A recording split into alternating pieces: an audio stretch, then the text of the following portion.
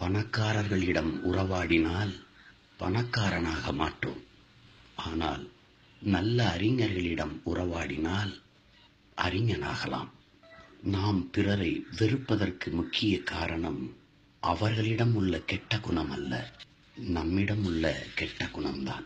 ஒவ்வொரு நாளும் இதுவே நம்முடைய வாழ்வின் கடைசி நாள் என்ற உணர்வுடன் இயன்றவரை நல்லதை செய்யுங்கள்.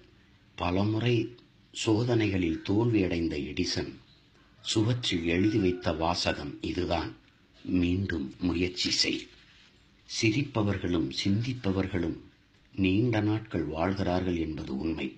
நீங்களும் செய்து பாருங்கள் உங்கள் குழந்தைகளை படித்த ஆசிரியரிடம் அனுப்பாமல் படித்துக்கொண்டிருக்கும் ஆசிரியரிடம் அனுப்பி வையுங்கள்.